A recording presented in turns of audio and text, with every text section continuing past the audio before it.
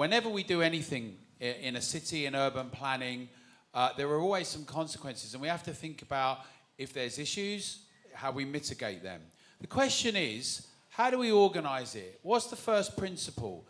When we thought about getting rid of uh, the ghettos and having better social housing and having improved stock and innovating and transforming things, when we have irrigation, when we have tunnelling, when we have bridges, it used to be the case that much of the public was at the heart of those considerations.